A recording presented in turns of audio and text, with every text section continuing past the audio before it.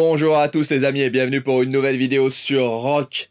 Les amis, aujourd'hui c'est le calme plat dans les events. Regardez, on a vraiment toujours ce vide. Hein. On ne sait pas ce qui arrive sur mes comptes sur le serveur 1000. J'ai été vérifié, c'est encore plus vide puisque contre le barbare course contre le temps, c'est fini. Voyage de Noël, c'est fini. Souvenir du voyage, tout est terminé. Donc vraiment, il n'y a aucun doute, on va avoir un pop d'event pour le nouvel an. Est-ce qu'on va avoir un patch associé à ce pop d'event Un patch qui dit patch dit maintenance? C'est la surprise, peut-être l'information va tomber dans la journée entre le moment du record et le moment de la publication de la vidéo. On en saura plus, à mon avis, dans les heures qui viennent. Au pire, demain au reset, forcément on aura les events, sinon il n'y a plus rien. Donc forcément on va avoir à mon avis l'information dans la journée. Je vous parlais de course contre le temps, vous êtes plusieurs à m'avoir partagé vos résultats. J'ai vu des scores vraiment énormes sur mon serveur. On s'est arrêté pour le moment à 690 000. Je pense bien évidemment qu'on peut aller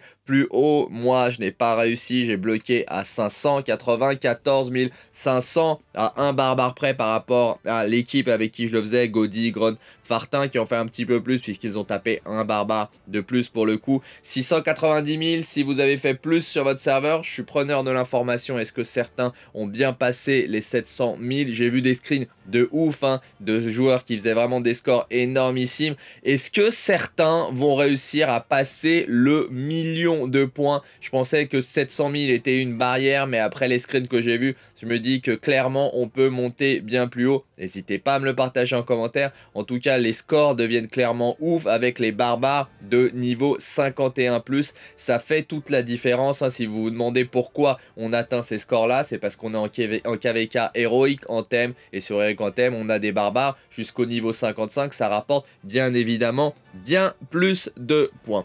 En parlant de points et d'events, les amis, je voulais vous parler du MGE et de la sixième étape du plus grand gouverneur. On en sait un peu plus. Des screens ont fuité et comme certains d'entre vous le pensaient, il s'agit bien évidemment du sixième jour le samedi un event des events, on peut refaire toutes les étapes. Ce n'est pas du tout original, mais au moins ça a le mérite d'apporter un changement et parfois c'est bien une petite nouveauté comme ça. Donc regardez ce premier screen hein, que je vous partage, j'ai toutes les étapes. Ce premier screen, il nous montre qu'on peut retuer des unités de tiers 1, 2, 3, 4, 5, mais Regardez bien le nombre de points. Le nombre de points est moindre sur ce sixième jour. Ça rapporte environ 20% de points en moins. Puisque c'est pas 20, c'est exactement même 20%. Puisque sur le tiers 5, normalement, ça rapporte 100 points. Là, ça ne rapporte plus que 80 points. Tiers 4, c'est 40 points. Ça ne rapporte plus que 32 points, etc. Pareil pour tous les niveaux. Donc, est-ce que c'est rentable de faire des troupes à ce stage, à cette dernière étape-là? Non, sauf si vous êtes sur un royaume où le classement, le MGE, n'est pas fixé et qu'il faut se battre pour conserver sa place et que vous ne pouviez plus le faire au kill event par manque de je ne sais pas quoi parce que de toute façon, si vous n'avez pas de ressources pour soigner, pour vous battre, vous n'aurez pas de ressources pour créer des troupes. Mais au moins, créer des troupes à cette étape-là, ça vous permet de rassurer votre position. L'idée derrière tout ça de Lilith laisse penser qu'ils veulent empêcher les joueurs d'avoir des MGE établis et qu'ils se battent et qu'ils claquent des ressources jusqu'au bout du bout du bout pour pouvoir assurer une position durant ce MGE.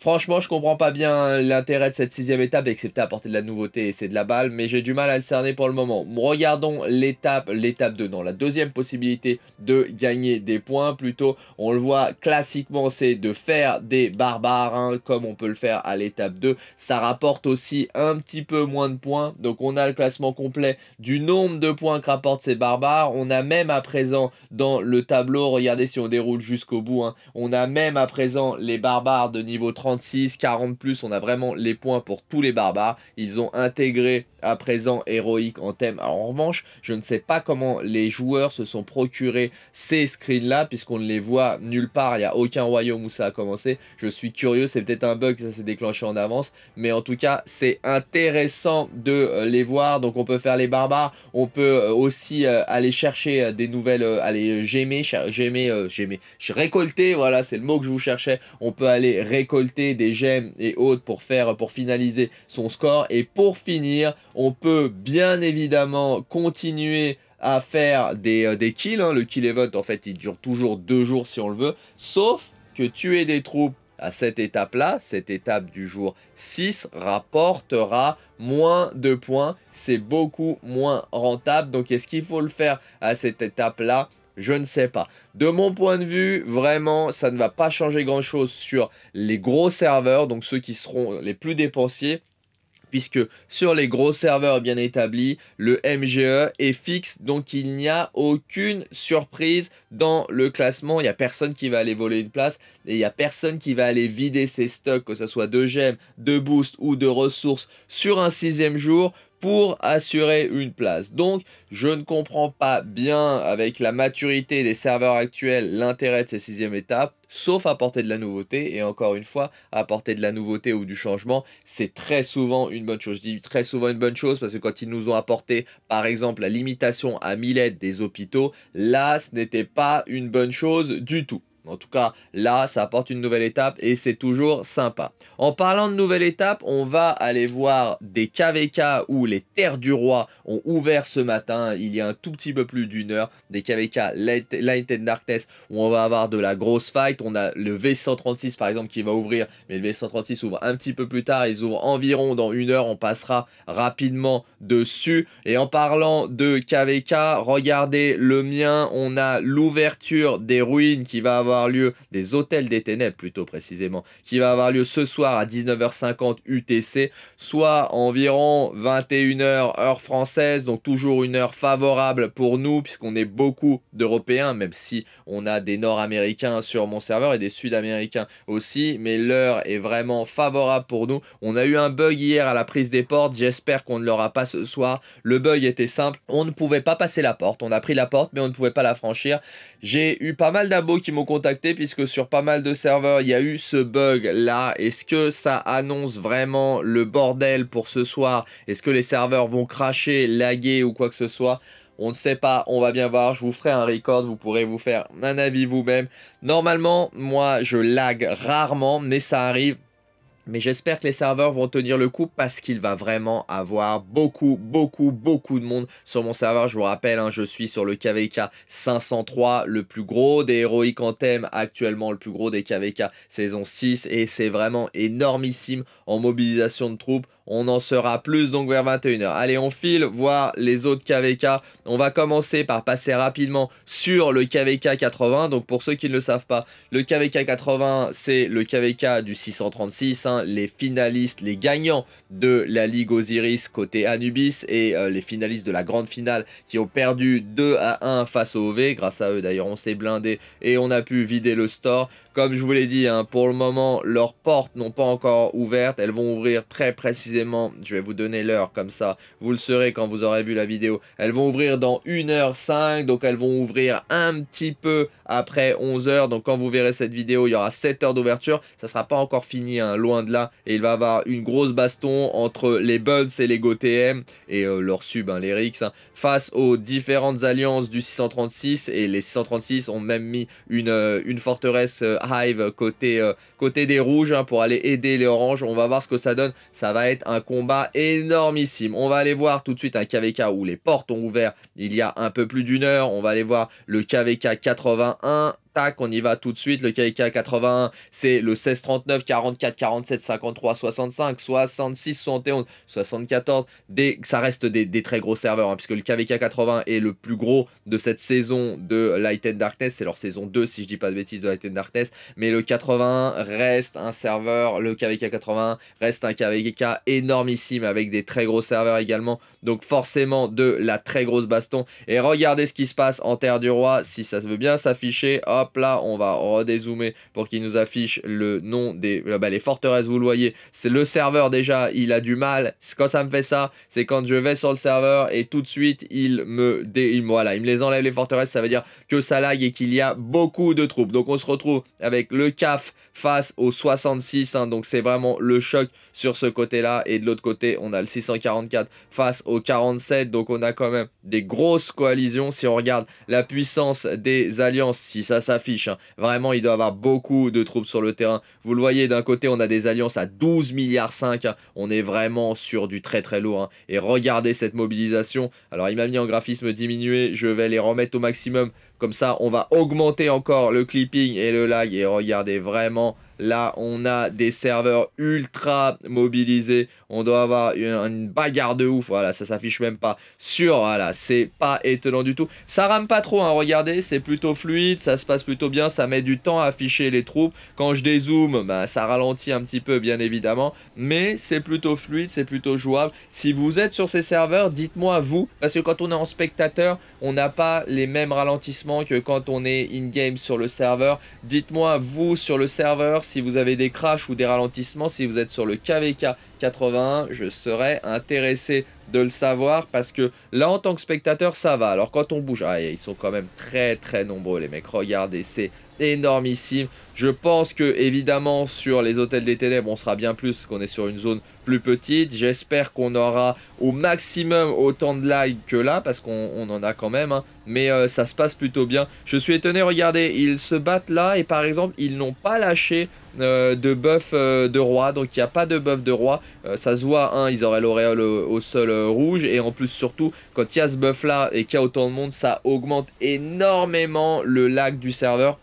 C'est comme ça, par exemple, que euh, ah, voilà, ils viennent de le lâcher, on le voit, il est sur le côté, mais euh, tout le monde ne l'a pas. C'est peut-être un bug, euh, un bug d'affichage. On le voit hein, lors de la, finale des, des ligues Osiris, quand le client crash, quand le jeu crash, c'est souvent quand il y a trop de buffs qui sont déclenchés en plus, ça fait trop d'effets et ça fait crash le jeu parfois. Donc là, ça tient plutôt bien. Bon, ça met du temps à s'afficher, hein, ça, ça, plus, ça, plus je vous en parle et plus, plus ça mais vraiment, là, on est dans le dur. Ils sont à une heure après l'ouverture de la porte. Si vous cherchez un endroit à voir des belles bastons et voir aussi quels sont les commandants les plus utilisés, eh bien c'est là que ça se passe le KVK 80. Regardez, on a beaucoup de, euh, de martels, on voit beaucoup de martels, beaucoup de Richard. On est sur des KVK qui sont jeunes, hein. ils n'ont pas les derniers commandants. On voit un Artemis hein, quand même euh, là, un Attila Takeda par-ci par-là, mais pas tant que ça. Hein. Vous le voyez, on, voit peu de Ramsès par exemple. Ramsès à ce stade du jeu est peu joué, sachant qu'il est énormément joué après euh, à notre niveau de jeu.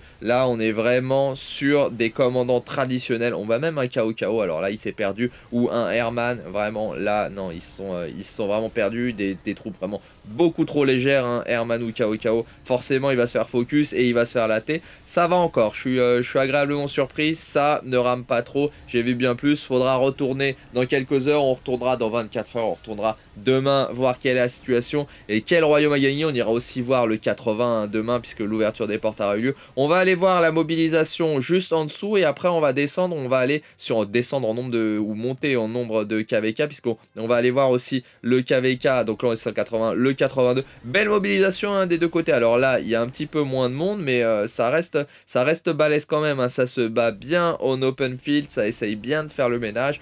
Bon, ils usent quand même des troupes et des ressources parce que c'est pas sur l'open field que ça va jouer. Il faudrait pousser avec le rallye. Et bon, là, dans la match, je ne vois pas de rallye, mais il y en a peut-être un. Donc, ils poussent peut-être en même temps que le rallye. Mais bien évidemment, il faut faire le ménage en même temps qu'on envoie son rallye pour optimiser l'attaque. Surtout quand on envoie des rallyes Attila Takeda avec les mecs essayent de le swarm. Ils sont vraiment pété la bouche et ça leur sèche leurs troupes. C'est vraiment une technique assez rapide pour ceux qui font l'erreur de swarm un rallye Attila Takeda. Belle mobilisation quand même hein, sur, euh, sur ce KVK. On va quand même faire tout le tour, voir si c'est pareil des deux côtés. Où le orange avance vite. Hein. Le orange doit pas rencontrer tant d'opposition que ça. Alors là, vous voyez, ça s'affiche même plus. Voici, ça s'affiche un petit peu là. Le orange, ah, il se bat déjà sur leur terrain. Donc le orange prend déjà la domination sur le bleu. C'est pour ça qu'il avance autant. Et de l'autre côté, et ce que... Ah, il y a déjà euh, un terrain euh, qui est désactivé. Peut-être ils ont fait un jump et posé un terrain. Ouais, ouais, c'est sûrement ça. Ils ont posé des drapeaux qui sont inactifs. Alors là, si c'est le cas, c'est une erreur. J'espère que c'est plutôt un bug d'affichage.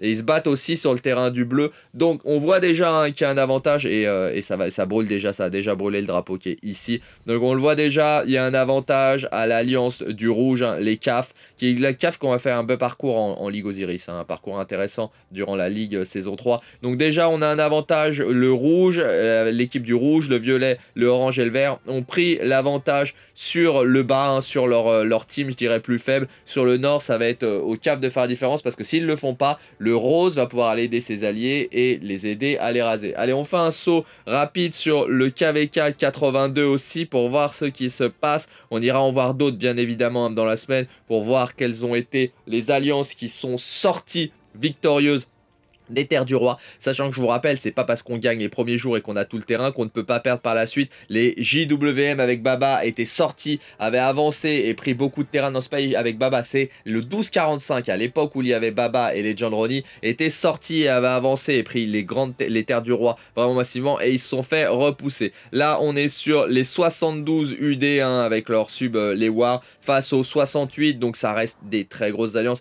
Ça a dû ouvrir un peu plus tôt puisqu'on le voit, vous voyez, des alliances à 9 milliards. Donc ça reste vraiment des très grosses alliances, je vous l'ai dit, hein, sur le KVK 82 aussi. Ça rame moins, vous le voyez, ça s'affiche plus vite. Donc euh, alliance à 11 milliards 7, pratiquement 12 milliards. Donc là, on doit être dans le dur de la guerre. Là, et vu le positionnement du rouge et euh, du, euh, du vert, on pourrait penser que la domination est du côté du vert, puisque du rouge, pardon, puisque le vert ne vient pas à la confrontation et l'essaye de glisser sur le côté pour aller aux terres du roi. Donc là, il est probable que sur les combats au nord, les premiers combats étaient remportés par le rouge, même si on ne le voit pas. La mobilisation, elle est quand même moindre que sur euh, LEL, elle reste une bonne mobilisation, mais elle est quand même plus faible que sur le 80. Il y a quand même un gap, à mon avis, de niveau et de mobilisation sur cette zone-là. On va voir, mais en tout cas, le vert s'installe bien. Le bleu aussi progresse bien, donc là, c'est le bleu qui doit avoir l'avantage. Regardons sur quel terrain ils se battent. Ouais, ils se battent, ouais, ils se battent en terrain euh, plutôt, euh,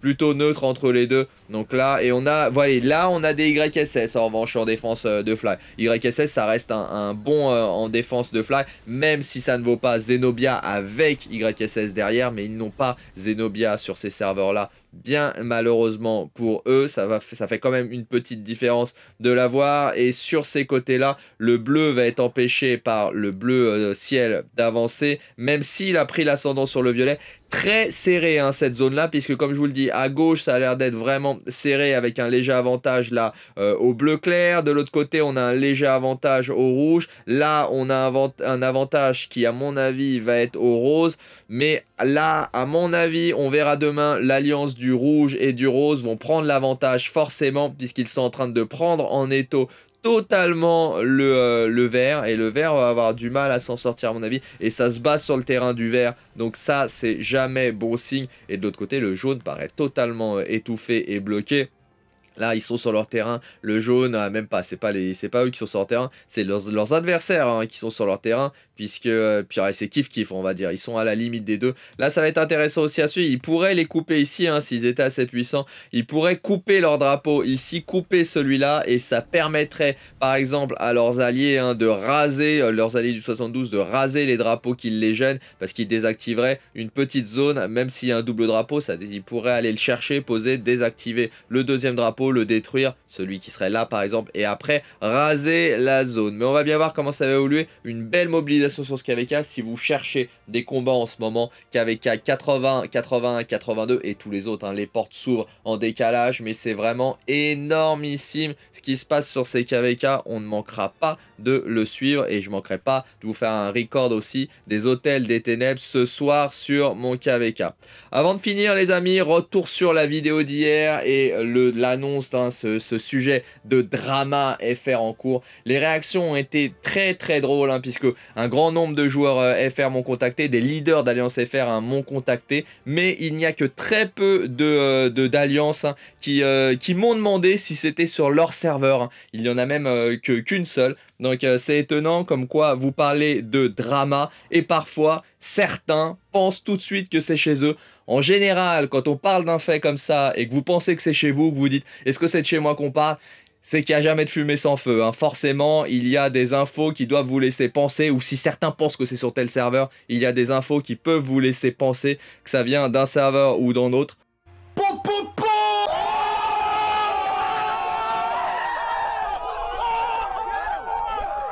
Évidemment, je vous en dirai plus quand ce sujet aura mûri et aura avancé et que surtout qu'on aura un peu plus de matière cohérente. Hein. Là, il y a vraiment un tas d'informations. On avancera dessus. Si vous êtes sur le point de migrer, comme un grand nombre d'entre vous qui m'ont contacté sur Discord suite à cette vidéo et que vous vous demandez si c'est sur le serveur où vous allez aller, renseignez-vous bien toujours avant de migrer. N'allez pas sur un serveur avec des dramas. En général, il y a toujours, si vous regardez le, le royaume où vous allez aller, s'il est en KVK et s'il perd, un royaume qui perd son KVK a toujours toujours des départs, forcément, même si c'est peu, certains en ont beaucoup, certains en ont peu, mais un royaume qui perd son KVK a toujours des départs, un royaume qui gagne a toujours aussi quelques départs, mais beaucoup moins qu'un royaume qui perd son KVK, donc selon la situation, renseignez-vous bien avant d'aller sur un royaume, hein, qu'il perde ou qu'il gagne, ça vous évitera de claquer des dizaines de passeports pour rien, et prenez un avis large, sachez que les leaders ou les R4 du royaume vont forcément vous inciter à venir, prenez un avis large de joueurs de différentes alliances du royaume. Ça vous donnera vraiment une vision bien nette du royaume et vous saurez si vous faites le bon choix en y allant ou pas. C'est ce que personnellement j'ai fait avant toutes mes migrations et malgré tout ça m'a pas empêché de me tromper. Aujourd'hui évidemment je suis sur un serveur parfait, mais forcément, ça pose question avant de lâcher des dizaines de passeports. Je vous comprends, les amis. Voilà, écoutez, les amis, c'est tout pour cette vidéo. J'espère qu'elle vous aura plu. Si c'est le cas, comme d'habitude, n'hésitez pas à lâcher un colossal pouce bleu. Vous le savez, les amis, ça me fait vraiment très, très plaisir. Et surtout, ça aide énormément le développement de la chaîne. Et je vous en remercie vraiment, les amis. Si ce n'est pas encore fait, n'hésitez pas à vous abonner à la chaîne en cliquant sur la cloche pour être informé de toutes nouvelles vidéos. Je vous souhaite un bon jeu à tous, prenez soin de vous, faites bien attention à vous les amis, et je vous dis à plus sur Rock